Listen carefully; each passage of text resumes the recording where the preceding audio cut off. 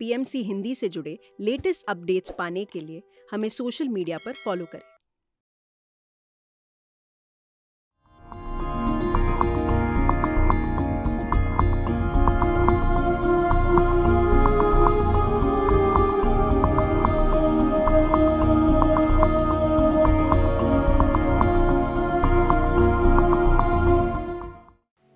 नमस्कार। ब्रह्म विद्या के इस नए एपिसोड में आप सबका स्वागत है।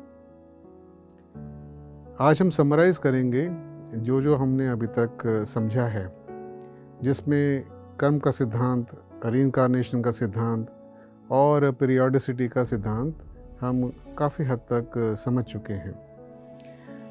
तो हमारे जो नए दोस्त हैं, जो जुड़ रहे हैं और जो हमारे पुराने दोस्त हैं, उनके लिए भी एक ये समरी हेल्प करेगी आगे चलने के लिए। दो और जो सिद्धांत बचे हैं अभी, एक है लॉ ऑफ़ एवोल्यूशन और एक है लॉ ऑफ़ यूनिटी तो अभी तक हमने देखा कि दुनिया में इनक्वालिटी है। यानी लोग जो हैं, उनको सब कुछ बराबर बराबर नहीं मिला है। किसी का जन्म गरीब घर में होता है, किसी के मिडिल क्लास में, किसी का अमीर घर के अंदर होता है। कोई पहले बीमार होता है, किसी की एबिलिटीज़ कम होती हैं, किसी की ज़्यादा होती हैं। अलग अलग सर्कमस्टांसेस होते हैं। कोई लंबा जीता है, कोई छोटा जीता है, किसी की मृत्यु एक्सीडेंट से होती है, किसी की नॉर्मल होती है, नाना प्रकार के हमारे पास में डिफरेंसेस हैं, दुनिया के अंदर हम देखते हैं। फेयरनेस नहीं लगती कि चीज़ें फेयरली हों। छोटे छोटे बच्चों पे जुल्म होते हैं। अभी जो हमास और इसराइल के बीच में जो लड़ाई चल रही है, ये भी अपने आप को बताती है कि क्या क्या गलत गलत काम हो रहे हैं। उन लोगों के साथ में जो कि कुछ इन्वॉल्व भी नहीं है। ऐसे ही हम अगर न्यूज़पेपर्स देखें तो हमें मालूम पड़ता है कि किसी को फ़ायदा हो गया, किसी का नुकसान हो गया, ये सब चीज़ें ऐसे चलती हैं जैसे कि बाई चांस हो रहा। तो इक्वालिटी तो लगती नहीं है। एक ही घर में दो लोगों को सेम बीमारी हो हो सकता है एक आदमी एकदम ठीक हो जाए, दूसरे को कॉम्प्लिकेशंस हो जाए। दो लोग एक ही घर से जाते हैं, काम पे किसी का बहुत अच्छा चलता है, किसी का नहीं चलता है। ऐसे इतने एग्जाम्पल्स हैं, हम देखते ही हैं कि इन है। दूसरी चीज़ हमने देखी कि मानव ने, मनुष्य ने खुद नियम बनाए हुए हैं। हम इनको कहते हैं मैन मेड लॉज वो नियम जो हमने खुद बनाए हैं। एक ग्रुप है, एक सोसाइटी है, एक देश है, एक प्रदेश है इन्होंने अपने अपने कानून बनाए हुए हैं। वो इन कानूनों के हिसाब से वो सोसाइटी चलने की कोशिश करती है। तो हमने समझा पहले कि मैन मेड लॉज होते हैं। तीसरी बात हमने समझी कि नेचर के, कुदरत के, प्रकृति के अपने नियम होते हैं। तो ये जो नेचुरल लॉज हैं और मैन मेड लॉज हैं, इनके बीच का हमने संबंध समझने की कोशिश करी। इनके क्या डिफरेंसेस हैं? यूनिवर्सल लॉज जो होते हैं, वो हमेशा सब पर, सब प्राणियों पर, सब समय पे और सब जगहों पे अप्लाई करते हैं। मैन मेड लॉज जो होते हैं, वो एक एरिया में लिमिटेड जैसे एक देश है, उस देश में वो अप्लाई करेंगे। कोई प्रदेश है स्टेट के अपने कानून भी होते हैं कई बार, जो थोड़े से डिफरेंट होते हैं। तो वो ग्रुप्स के अंदर जो अप्लाई करते हैं, वो पूरी ह्यूमैनिटी को, पूरे दुनिया को अप्लाई नहीं करते। फिर मैन मेड लॉज को हम बदल सकते हैं और बदले जाते हैं। यूनिवर्सल लॉज जो हैं, प्रकृति के नियम, वो बदले नहीं जाते। फिर हमने देखा कि भी मैन मेड लॉज जो हैं, अगर उनको तोड़ा जाए तो फिर उसकी पेनल्टी देनी पड़ती है। हमें उसका भुगतान करना पड़ता है। हमारे को या तो जेल जाना पड़ता है या हमारे पे जुर्माना होता है। यूनिवर्सल लॉज को ब्रेक करा ही नहीं जा सकता। वो उनका उल्लंघन ही नहीं हो सकता। तो पेनल्टी का तो सवाल ही नहीं है। हम ये ज़रूर कर सकते हैं कि एक यूनिवर्सल लॉ को बाईपास करने के लिए, उसकी इफ़ेक्ट को बाईपास करने के लिए एक दूसरा लॉ इस्तेमाल कर लें। जैसे कि हम लोग कुर्सी पे बैठते हैं तो हमारे को पता है लॉ ऑफ़ ग्रेविटी है। ग्रेविटी क्या करती है? धरती क्या करती है? अपनी तरफ़ खींचती है। तो अगर मैं जिस तरीके से बैठा हूँ, अगर मैं ऐसे बैठने की कोशिश करूँ तो मैं गिर जाऊँगा। क्योंकि नीचे मुझे धरती खींचेगी। तो अपने आप को इसी जगह पे बैठाने के लिए मैंने एक और नियम का इस्तेमाल करा कि या तो मैंने कोई मेटल लिया, लोहा लिया, या फिर मैंने लकड़ ली और उसको उस साइज़ में लिया और उस मज़बूती वाली चीज़ को ली, उतना मज़बूत लिया कि मेरा वज़न वो सह सके। तो हमने एक कुर्सी बना ली। अब कुर्सी पे हम बैठे। कुर्सी भी जो है जिस पदार्थ से बनी है, ठोस पदार्थ से, वो भी तो प्रकृति के नियम से बनी है। तो वो जो ठोस पदार्थ से जो बना हुआ है, वो हमारा वज़न सह रहा है और वो जो ग्रेविटी है जो हमें खींच रही है, वो जो नियम में खींचने वाला, उसको वो बाईपास कर रहा है। मतलब कि उसको पूरा नहीं होने दे रहा। तो हम एक्चुअली यही करते हैं, एक नियम को दूसरे नियम से हम इस्तेमाल करते हुए अपना काम निकालते हैं। तो प्रकृति के नियम तो हम उल्लंघन कर नहीं सकते हैं। इसलिए पेनल्टी उसमें होती नहीं फिर एक और चीज़ हमने देखी फ्री विल हर एक मनुष्य के पास में एक इच्छा शक्ति है कि जिससे वो जो कार्य करना चाहता है, कर सकता है। फ्रीडम है। जो मैं करना चाहता हूँ, कर सकता हूँ। अब इस टाइम पे अगर कोई टीवी पे प्रोग्राम आ रहा है, मैं उसको देख सकता हूँ। और अगर मेरा मन करता है तो मैं उस प्रोग्राम को बंद करके और बाहर टहलने निकल सकता हूँ। मेरी फ्रीडम है, मेरे पास चॉइस है कि मैं क्या करना चाहता हूँ, मैं कर सकता हूँ। ऐसी बाकी लोगों के भी पास भी चॉइस है। तो मगर ये जो चॉइस है, ये लिमिटेड है, एक दायरे के अंदर है। पहला दायरा तो ये है कि जो जो नियम बनाए हैं मैन मेड लॉज जो बने हैं वही दायरा बनाते हैं। जैसे कि मैं अगर सड़क पे जा रहा हूँ, एक दुकान है, दुकान के अंदर जाके मैं कोई सामान ऐसे उठा के नहीं जा सकता। मैं किसी और के भी घर में घुस के कुछ सामान ऐसे लेके नहीं निकल सकता हूँ। कुछ नियम हैं, उनको मुझे फॉलो करना पड़ेगा। कितनी भी मेरे पास फ्रीडम हो, मैं कर नहीं सकता, नहीं तो मुझे उसका जुर्माना भरना पड़ेगा। दूसरे लोगों की भी अपनी मर्ज़ी होती है और मेरी भी मर्ज़ी होती है, वो टकराती है बहुत बारी। तो एक तो बाकी लोग हैं, उनकी फ्रीडम है चॉइस है और एक मेरी चॉइस है, उसमें टकराव होता है। एक जो मेरी चॉइस है, जो मैं करना चाहता हूँ, जो फ्रीडम है, उसमें मैन मेड लॉज हैं, उनसे मेरा टकराव होता है। और तीसरा है जो यूनिवर्सल लॉज हैं, उनके साथ भी मैं टकराता हूँ।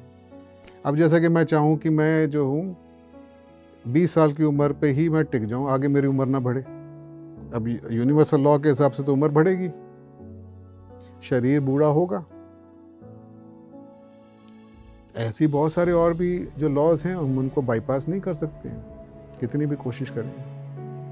तो यूनिवर्सल लॉज हमारे फ्रीडम को रोक लगाते हैं। हमारे इच्छाओं को, हमारे जो फ्री विल है, उसको रोक लगाते हैं। मैन मेड लॉज हमें बताते हैं आपको ये नहीं करना है।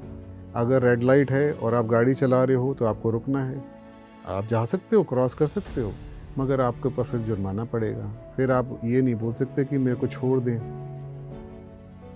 तो फ्रीडम वहाँ लिमिटेड हो जाती है। और वैसे ही दूसरे लोग भी जो हैं, हम चाहते हैं कि कोई कुछ करे हमारे लिए तो दूसरे की भी मर्ज़ी है वो करे ना करे।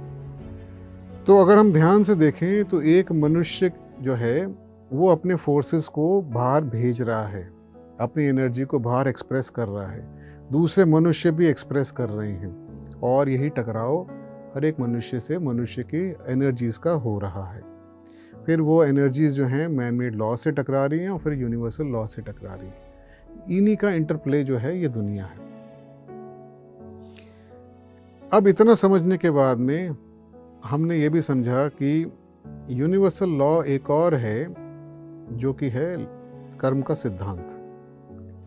कहने को तो मैं कुछ भी कर लूँ, उसके बाद में कोई उसका इफ़ेक्ट आएगा कि नहीं आएगा, इसके बारे में हमने पूरी बात करी थी।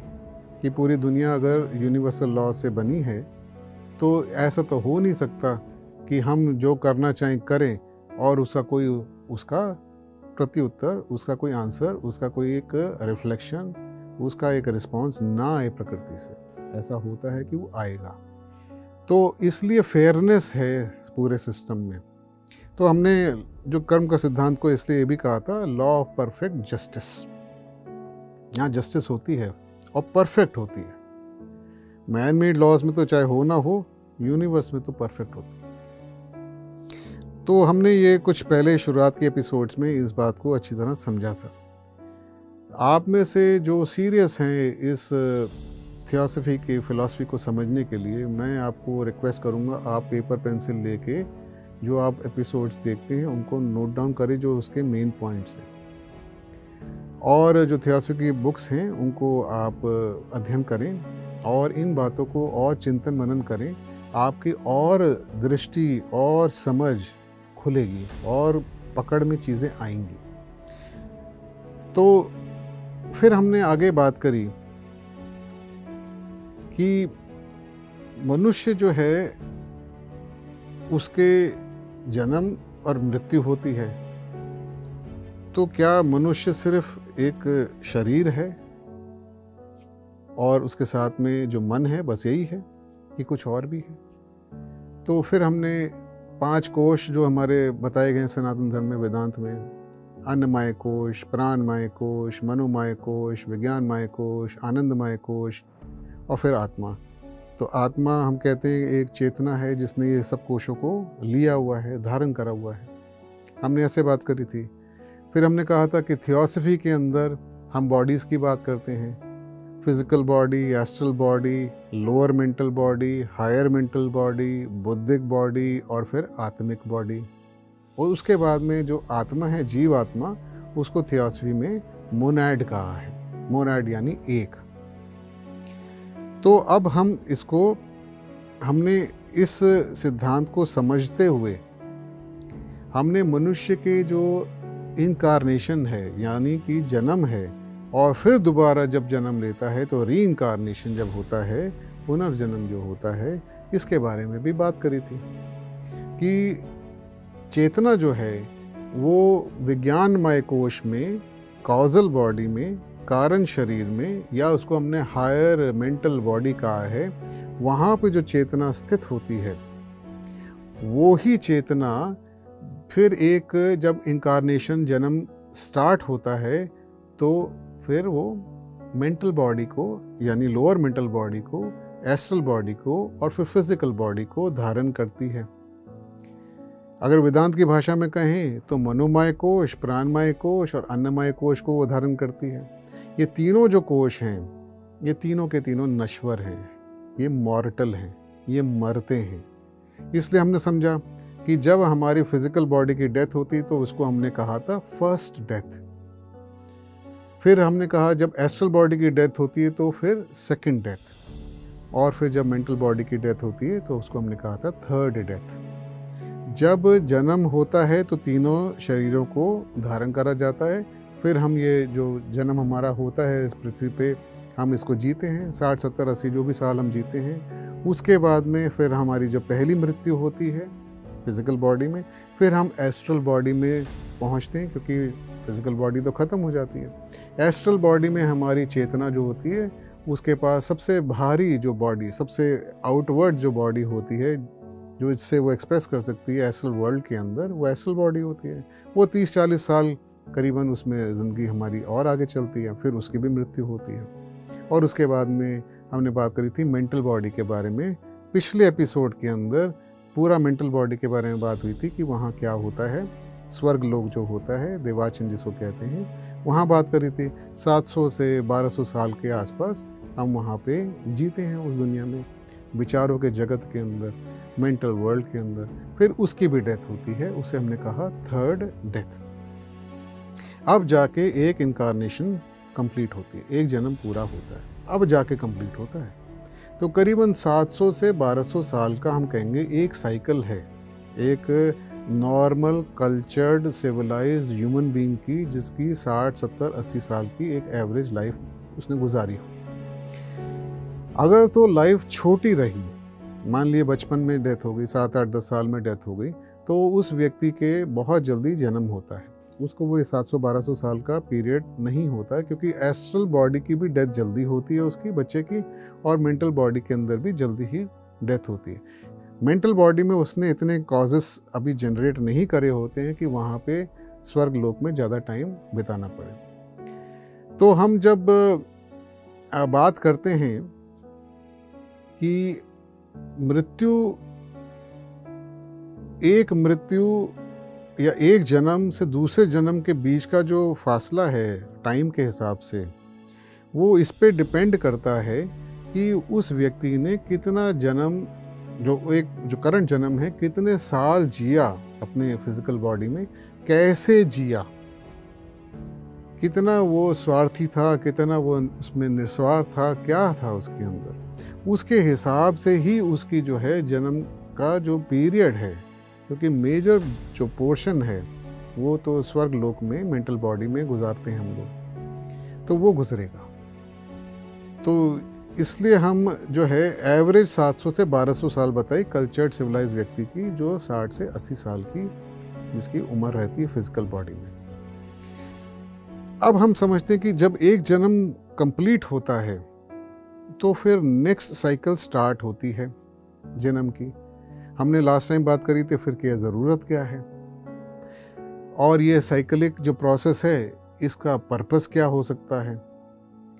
तो एक जन्म में जो हमने सीखा, जो क्वालिटीज़ हमने जनरेट करी पॉजिटिव क्वालिटीज़ जो जनरेट करी, वो एड ऑन हो जाती हैं, वो जुड़ जाती हैं कॉजल बॉडी में, विज्ञानमय कोश के अंदर।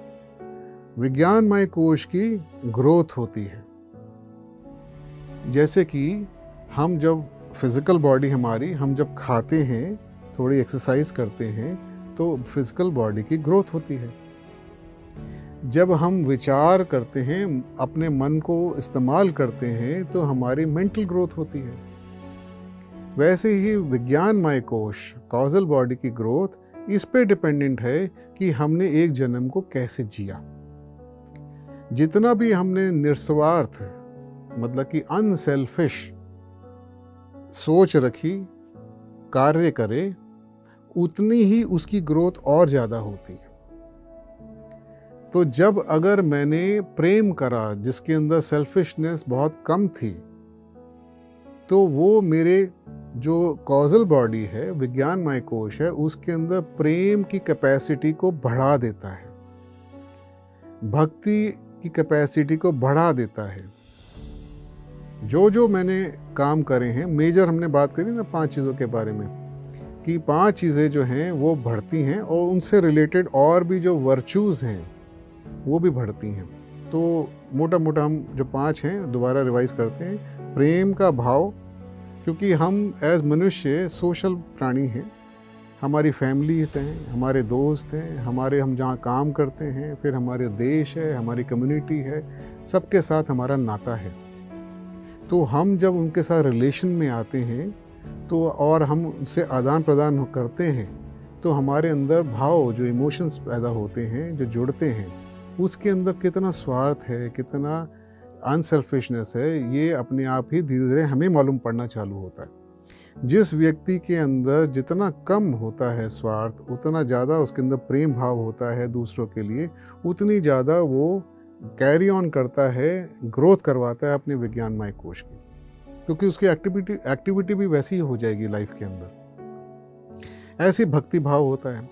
जितना हमारे अंदर भक्ति भाव बढ़ता है एक जैसे हम एक जन्म में अंदर हम जीते हैं तो हमारे भक्ति भाव कैसा रहता है, हम कितनी भक्ति को डेवलप कर पाते हैं, उतना ही एड ऑन होता है।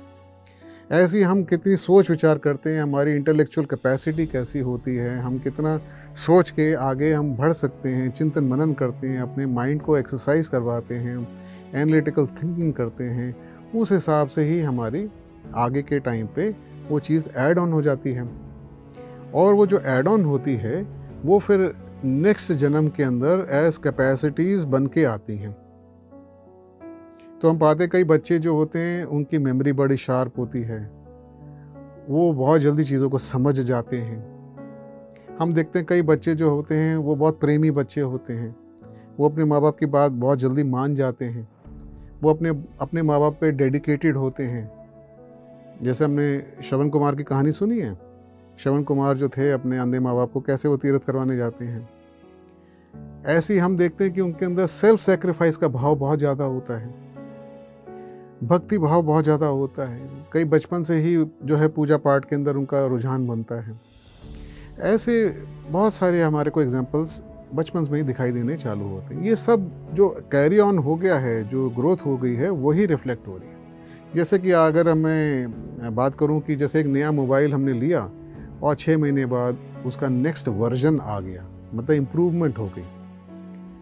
तो हम आईफोन को देखते हैं ना iPhone seven eight nine ten eleven twelve thirteen fourteen ये क्या है? ये नया नया वर्जन्स हैं और इम्प्रूवमेंट्स के साथ में मार्केट में आते हैं। ऐसे ही हम जब नया जन्म लेते हैं, हम तो हम इम्प्रूवड वर्जन के साथ में आ रहे हैं, जो कैरी फॉरवर्ड हो गया था, जो जुड़ गया था विज्ञानमय कोश में, वही फिर आगे रिफ्लेक्ट होता है और नए जन्म के अंदर वो आता है। तो ये साइकिल जो है, ये साइकिल हमारे को ग्रोथ की साइकिल और ये साइकिल जो है स्पाइरल है। स्पाइरल समझते हैं, जैसे स्प्रिंग होता है। एक सर्कल है, वो आके वहीं नहीं जुड़ेगा। वो थोड़ा एंड उसका ऊपर होगा, फिर वो आगे और ऊपर चढ़ेगा, और ऊपर। तो आप स्पाइरल की तरह हमारी ग्रोथ होती, ताकि हमारी ऊंचाई बढ़ती जाए, हमारे अंदर डेप्थ बढ़ती जाए। ये जो स्पाइरल ग्रोथ है, इसके बारे में हम और बात करेंगे। और ये किस एंड को हमारे को लेके जा रही प्रकृति, ऐसा क्यों करवा रही है? और हमारे ऊपर के जो बाकी कोश हैं, जिसको हम कहेंगे कि हमने अभी कारण शरीर की बात करी है कॉजल बॉडी यानी विज्ञानमय कोश उसके बाद आनंदमय कोश बुद्धिक बॉडी फिर आत्मिक बॉडी और फिर मोनैड इसकी भी चर्चा करेंगे और समझेंगे कि भाई ये ऐसे बनाए क्यों गए हैं? और ये एवोल्यूशन की साइकिल और एवोल्यूशन का लॉ और ये जो यूनिटी का लॉ है, ये क्या है? इसके बारे में हम बात करेंगे अगले एपिसोड में। तब तक के लिए बहुत बहुत धन्यवाद।